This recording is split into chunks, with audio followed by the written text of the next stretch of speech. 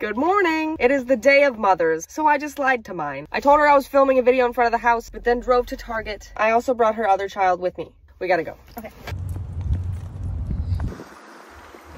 We're gonna get her a fake plant because she says she can't keep things alive, but she managed to do it with us, so it's probably fine. We're getting her a white mug, even though she's Mexican. Now it's time for the ultimate gift. Mama wants an air fryer.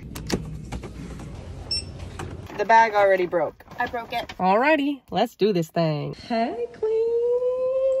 Happy Mother's Day. You guys are too sweet. We got you a puppy. Sorry, George. Is it plastic? Yeah, That's perfect. I can't kill it. it's a mug that'll fit in the cup holder in the car. That's perfect. You got me an air fryer?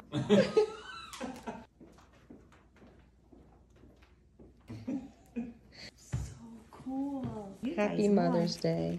Thank